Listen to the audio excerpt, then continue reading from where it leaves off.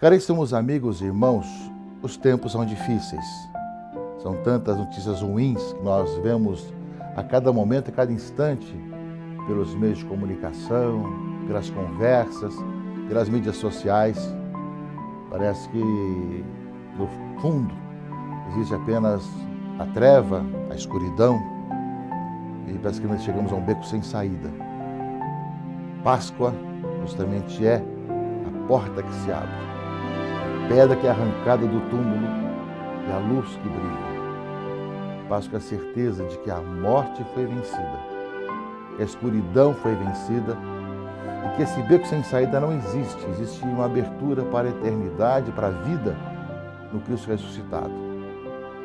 Páscoa é a certeza da vida, certeza da ressurreição. E nós, enquanto cristãos, somos chamados, no meio dessa crise profunda do mundo, do país, a dizer: Nós cremos na vida que não termina, nós cremos na ressurreição. Cristo está vivo, presente no meio de nós e a nossa vida. Feliz Páscoa. Anuncie essa Páscoa. Seja sinal da Páscoa para esse nosso mundo que tanto necessita de homens e mulheres pascais. Uma Santa Páscoa para todos.